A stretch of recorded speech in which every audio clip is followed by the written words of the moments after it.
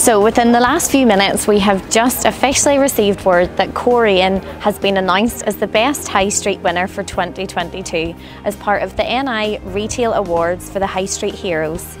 We have made it to this position all thanks to the public vote, so we wish to extend our thank you to you for voting for Coleraine and we're immensely proud of this achievement and everything the High Street has to offer. We come up from, from Fermanagh every year to Coleraine, we just love coming into the, the town centre, going to all the wee boutiques, having tea and coffee, sitting out in the lovely sunshine. So it's just, it's a great place to come. Um, I like coming in for the kids. There's always a lot of free events for them to see. Um, plenty of coffee shops for caffeine. Always need a caffeine hit having children. um, and I actually work in Coleraine too. The pedestrian zone is pretty handy just for wheeling the girls around. Um, and Amelia loves being on her scooter and her bike, so it's just you know she's safe. As a small business owner in Coleraine, I'd like to just thank everybody who actually voted for us um, to reach the final in.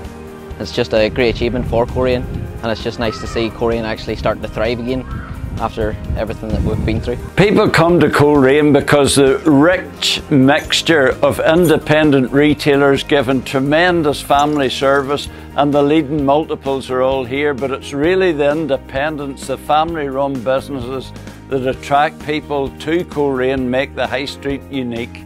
Coleraine has the most outdoor seating in the Causeway Coast. People can sit out and enjoy themselves and if you're looking at a real nice pint of Guinness, call into the Queen's Arms.